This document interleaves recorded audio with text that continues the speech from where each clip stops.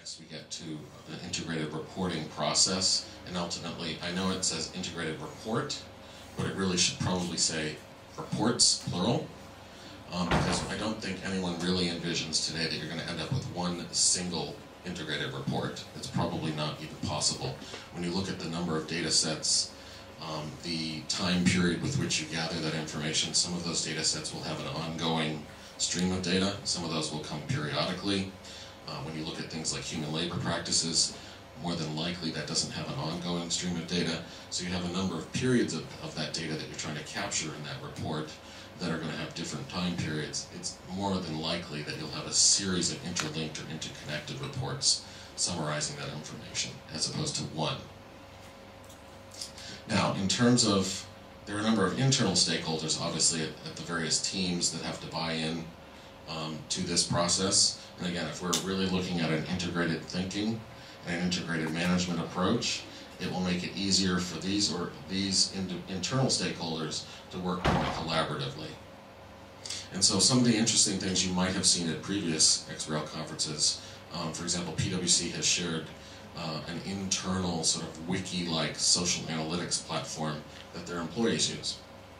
And so you could envision a similar kind of internal social analytics platform shared across business divisions to share information, analyze models and information, and, and collectively and collaboratively arrive at decisions.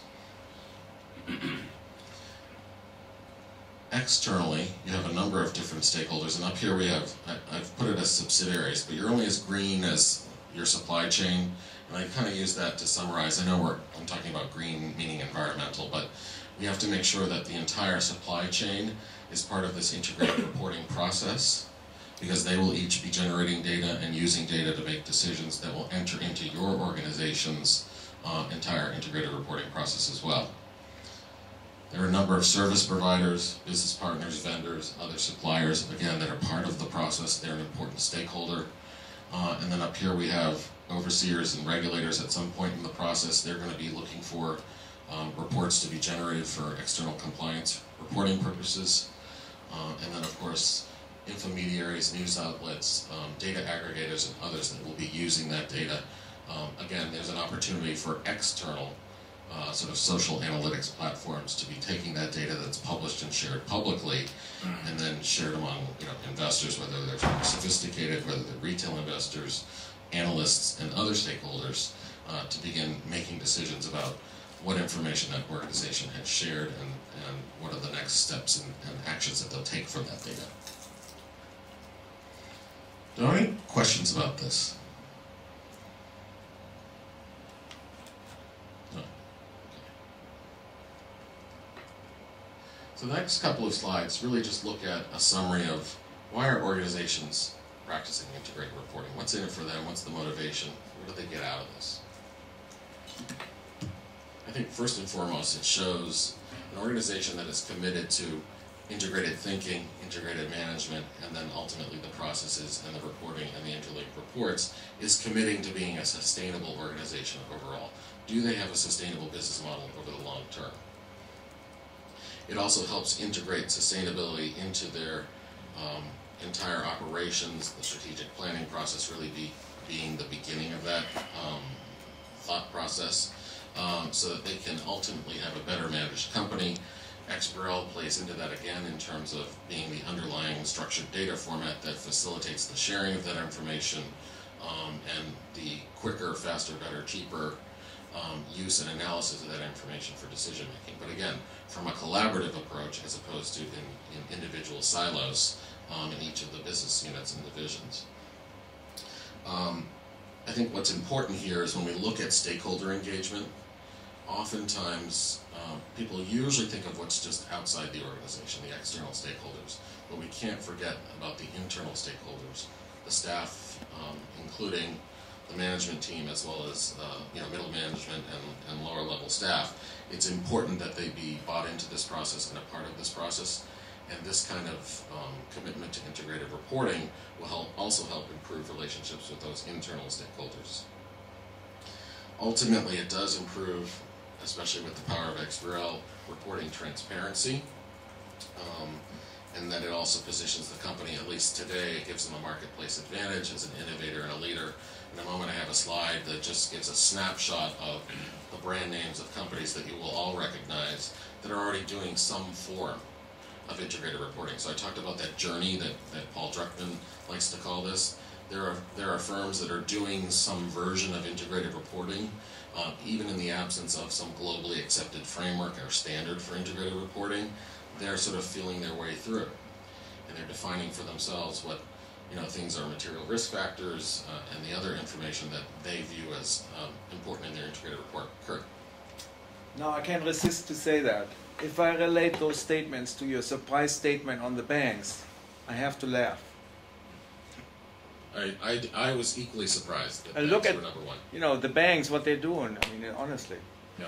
none of this. And That's then they, good point. they're on the top of your other chart. Yeah. Advertising. Absolutely. Uh, a couple other other points. Obviously, in looking at attracting capital and attracting uh, a lower cost of capital to the organization, and as I talked about, you know, anecdotally, there's also some evidence in the marketplace that investors are increasingly relying on and asking for, um, particularly the ESG part of integrated reporting information, the non-financial information, to make their decisions. Um, they're looking beyond fundamental data sets. Um, it also strengthens the relationships if they are, in fact, engaging with their stakeholders, whether they're the internal ones or the external ones. The more that they communicate and engage with their stakeholders, the better insight they also have into what's material from the stakeholders' perspective. So we talk about materiality as being one of those important issues, and in a moment you'll see it's also one of the missing links. It's one of the things that needs to be resolved an organization can look from the inside out what are material factors from its own perspective, its own assessment, but it's important to understand through that two-way, or I actually call it a multi-log, not just a dialogue, with all of its stakeholders uh, to understand what's material from their perspective.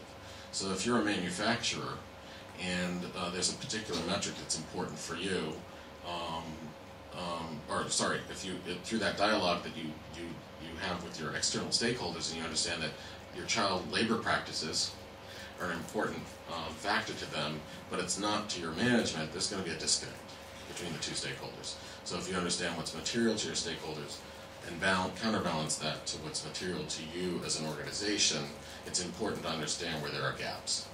So you know where those dis- potential disconnects and then therefore potentially unhappy or dissatisfied stakeholders are. Of course, the last point on this list is meets compliance and regulatory needs. We anticipate that there will be mandates in some countries. In fact, we already have that uh, when you look at things like South Africa. Um, some will be motivated by the stick. They are required to report this information. Some, as you'll see when we show you that slide, there are plenty doing this because it's the right thing to do. And it's a best practice. And they realize it gives them a competitive advantage and ultimately they perform better financially. I think there's been some research also shared in the marketplace that shows that companies that report on um, ESG information and investors that invest in them actually have a higher alpha. And I think there's going to be increasingly more evidence that shows that organizations that not only report this information and do well at those practices are going to ultimately do better and, and build economic value. So what are some of the challenges? And these, this by no means is an exhaustive list, um, just to sort of get the thoughts uh, going, but obviously this concept of closing the non-financial books on time. I think we have a, a very mature market in terms of financial reporting. We understand what the standards are, whether it's IFRS, whether it's US GAAP, whether it's another uh, standard in another country GAAP. Um, we understand who the overseers are in terms of the regulators, we understand uh, the market finds that information credible. There's a long history with it. Contrast that with ESG and non-financial information um, with different periods of time within which data sets are collected, uh, different frequencies, and we don't have a clear uh, global uniform framework for reporting or standard. It's unclear who would be the ultimate overseer in terms of regulatory oversight. There are a number of issues that, you know, it's not as well trusted, it doesn't have as much history in the marketplace in terms of availability of this type of information. So you contrast the two, and we have we need to bring them into equilibrium. So I think the challenge today is how do you transfer all of the that trust and reliability and stability in the financial reporting side to the non-financial reporting side. Um, deciding on the appropriate level of detail is an important one. Um, there are those who feel that the scope of information that you could report conceivably on ESG practices is so much larger. You just look at things like um, greenhouse gas emissions and some of the information that the Carbon Disclosure Project reports on. The amount of information could be overwhelming. So that's why it's important to determine what's truly material to your stakeholders and to focus on that information so that you are providing them with the most important uh, factors that they should be considering. Is that the right approach? Because then you decide for them what they might find important. I mean, is, it, is that exactly why integrated reporting and XBRL are such a great combination? Because you just you are able to, to, to kind of manage this huge volume of inf information and just, just let the market decide what they find because you can Google basically the report. Right. So we should get rid of this concept of this huge report because it doesn't matter how big it is. Yeah, You and can research it. let me clarify. So on, on materiality, I think the point here is to highlight the most important material factors. Yeah. It doesn't mean that you're not necessarily sharing other information. Of course, it's there and available to be analyzed if it's shared publicly Yeah. and it's XBRL tagged, obviously easily found. And, and you know, if a particular investor or analyst or other stakeholder on the outside wants to look at another factor that wasn't reported, and it's important to them. First of all, the dialogue, it's important for that person to have a dialogue with the organization, to say, you know what, this is important to me. It may not be important to the majority of your other shareholders, um, but it's important to me. So it's not meant to filter or block. It's really meant to summarize, this is what we feel from the majority of our stakeholders are the important risk factors, material factors, yes. One of the challenges that comes to my mind is when we're talking about uh, financial integrated reporting, the numbers talk, numbers speak. But once you have uh, textual information coming in, then the semantics changes. Uh, if somebody is trying to compare the reports from, say, uh, within the banks, just for the example, then how do you address that semantics coming out of the reporting that's done by two different banks? And therein is one of the big challenges, as I call it, one of the missing links. Um, we have issues that I've summarized with things like comparability, uh, materiality, as we've talked about, but you've highlighted one of the, the key challenges as the IIRC goes about, you know, working with, they have a number of pilot companies around the world, I think it's over 60 at this point, uh, that are going on that journey to integrated reporting, and as they are figuring out their way, and trying to figure out what works and what doesn't work, you know, they're tackling some of these issues, and, you know, I don't have the magic answer for that today. Obviously, we need to wait and see what the IIRC comes up with in terms of a proposed framework, but those are exactly the kinds of challenges. You know, this is, again, not an exhaustive list, but these are some of the, the challenges that keep coming up more frequently in the discussion, and you've just hit on one of them that's extremely important. You know, the efforts of, um, if you're familiar with the Object Management Group, OMG, which uh, works on developing technology standards and data modeling, um, they are now in the process of collaborating with XBRL International on an XBRL semantic framework. And some of their work will benefit these kinds of efforts to develop ultimately an XBRL taxonomy for integrated reporting, as well as any other XBRL taxonomy that's developed in other areas. Uh, and, and that will help those taxonomies be more interoperable and ultimately the data that's produced from them uh, be more comparable. But I think you've hit on the, the semantic issue and looking at non-financial information and then linking that. Um, although I haven't explicitly set it up here, one of the other missing links is linking ESG performance to financial value and economic impact. Again, a lot easier to do and understand on the financial reporting side, a lot more difficult, and, and there are probably a number of approaches and methodologies you could take on the non-financial reporting side. So, that was a nice segue into uh, the missing links. The first one was standardization. Obviously, the work of the IRC has brought together the interested parties from around the world, accounting standard setters, other types of standard setters, corporates, investors, um, community groups, uh, watchdogs, etc. to collaborate on and develop what will ultimately be a globally accepted framework, uh, universal framework for integrated reporting. And I, perhaps for those of you that were at the Montreal XBRL conference in October, probably heard Arleen Thomas, who's chair of the board of XBRL International, say something to the effect on, on the stage that we will have failed if we do not have an XBRL taxonomy for integrated reporting to support that framework. And again, ultimately, if we have it for the financial reporting to structure the, the financial re- reporting information, it's a logical assumption that it would that would also structure the non-financial information. By the way, the IIRC is originally had shared that they were looking to produce their framework um, by the end of this year for uh, comment from the marketplace, and I believe they now shifted their their timeline uh, into next year, which is perhaps not a surprise to many of you as they tackle these really complex issues. Uh, there is no easy answer, and as they gain, gather the feedback from the pilot program participants, um, you know, obviously that's going to enter into the discussion of how they experienced each of these and many other missing links.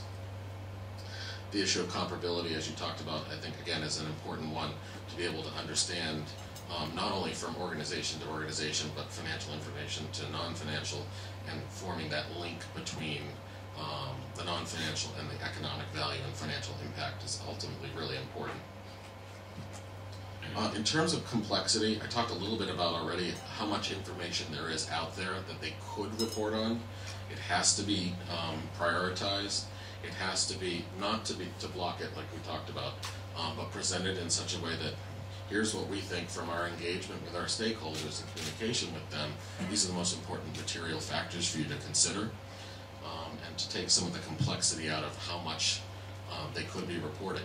It's interesting to see that among the uh, big four accounting firms, the types of experts that they're adding to their teams currently, they're not just accountants. They're scientists, environmental experts, other types of consultants in CSR. They're they're bringing in the the experts to help advise them when they're working with their listed companies and clients, anticipating needs in the in the non-financial space, the ESG space, integrated reporting, to help them understand better in terms of those domains what types of information they're looking at, how do they quantify it, how do they gather it, how do they collect it and analyze it, and then how do they provide assurance on it.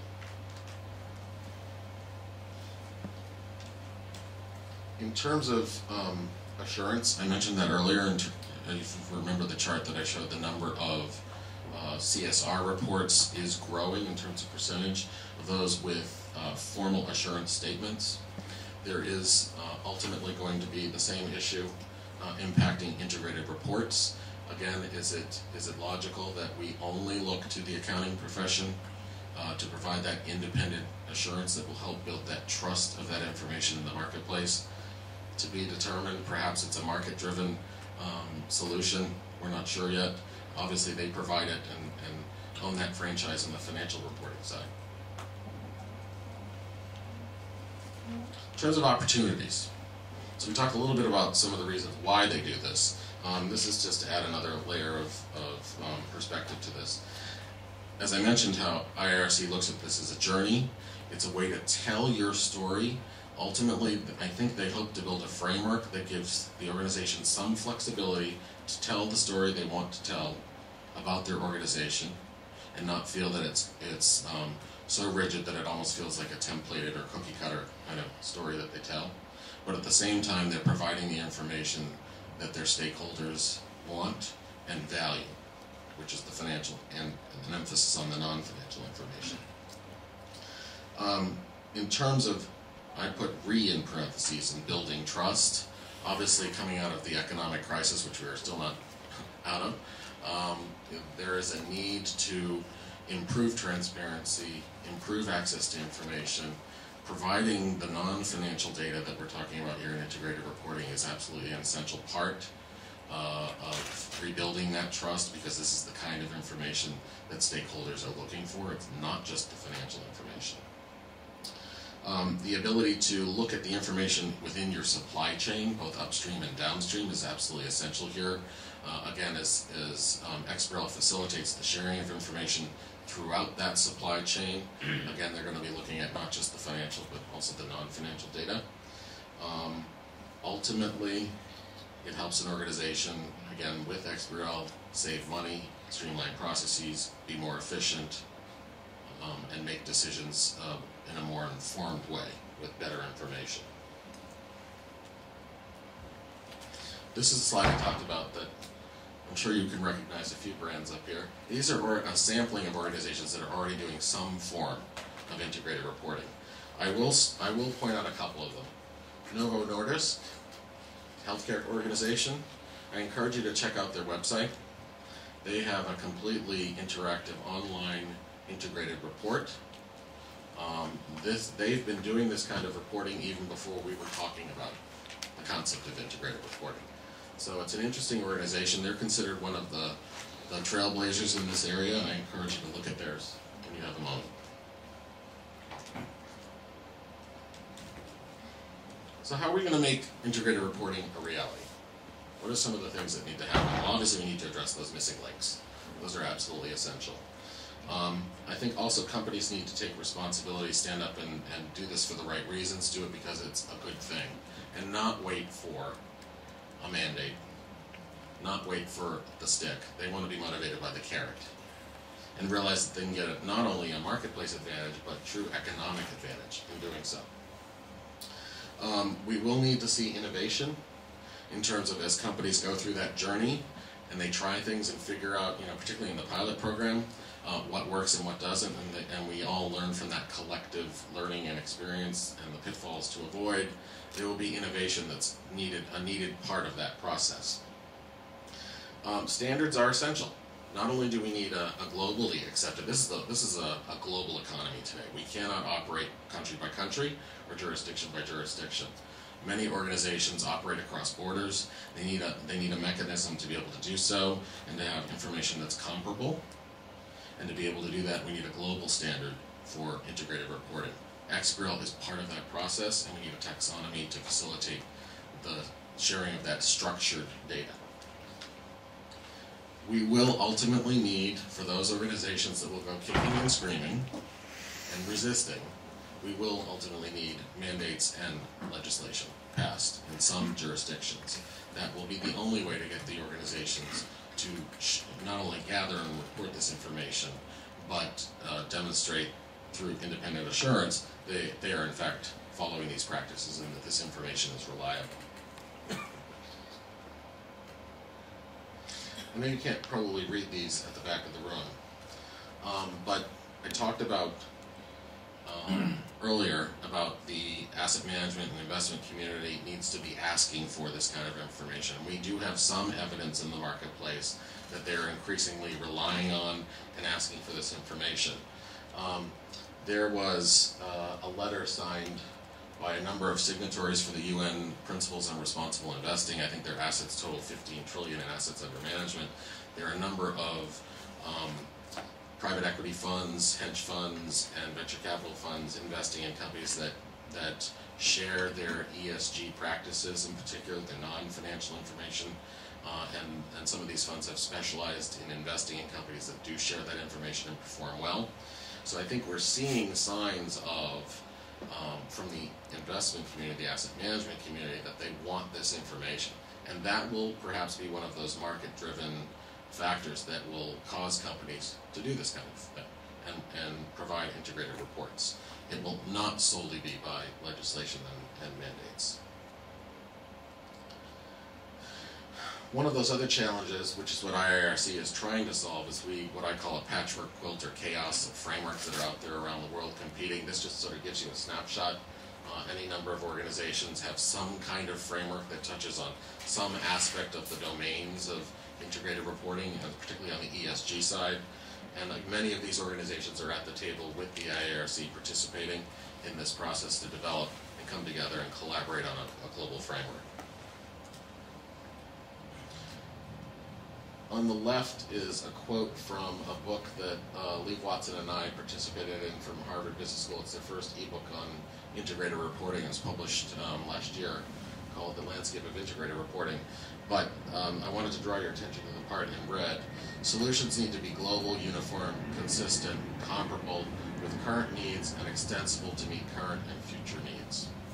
And I think the point here is that you know we have to show this process, the interconnections between environmental, social, and governance and financial factors in decision making at organizations, establishing those links that are missing, establishing the link between um, ESG practices and economic value and financial impact ultimately. Um, and we also must rebalance the performance metrics away from sort of an undue emphasis on short-term performance and bring reporting closer to you know the information that management is using to run the business on a day-to-day basis. So I'll leave you with a couple of thought-provoking questions. Where are you currently in this journey to integrated reporting, if you've even taken that first step on that pathway? And do you in fact have a sustainable business model as an organization? And if not, what are you going to do to get there? And with that, I'll open it up to any questions. Do you have any questions? Yes, at the back. Just one question. Um, I think it is great for a company now. Have you ever thought about the possibility of extending that to something that is not organization like companies, but um, public sector, city management, for example? Having integrated reporting about criminality, social housing, uh, quality of water, in fact, it, something that is absolutely out of the standard, I would say, economical approach. Have you thought about that? Is there any ideas? Because we have some experience of that. That's Yep. why I'm, I'm just Kurt, you have something you want to Yeah, actually, you know, I mentioned it before. That basically, the, the base is defining the capitals for it. So they got six capitals in the integrated uh, reporting framework, which it was out for discussion in the discussion paper. Um, it, it, it's financial, human, uh, products, and uh, I got one now. Uh, oh, intellectual. And then they got two other ones, which, which are really referring what you are, you are one to say. It's the social capital and the natural capital. And those are probably the most difficult ones too.